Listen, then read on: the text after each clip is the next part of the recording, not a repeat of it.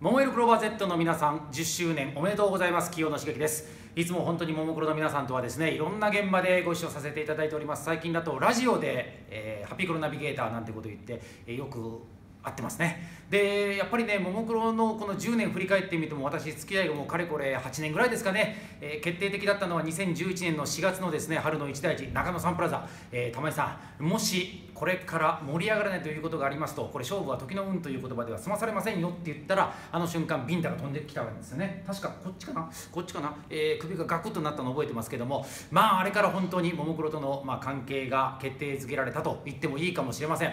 もうでもね本当に感謝です。横浜アリーナとか埼玉スーパーアリーナとか日産スタジアムそれから東京ドームねいろんなところに私舞台に上がらせていただきましたが全部ももクロさんのおかげでございます。もうこれからもね本当に僕を今まで行ったことないような場所に連れて行ってもらいたいと思います。ちなみにあの過去でご一緒したあのパススタッフパスこれ全部こうやって